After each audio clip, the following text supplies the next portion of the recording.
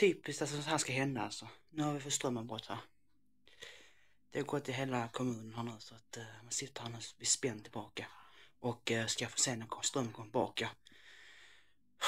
Alltså sånt här skit har det alltså. Jävla skit. Oh, man blir så irriterad. Faktiskt. Så att ja, jag får spara min batteri så återgår jag igen. Strömmen tillbaka så hörs vi om ett tag igen. Hej allihopa!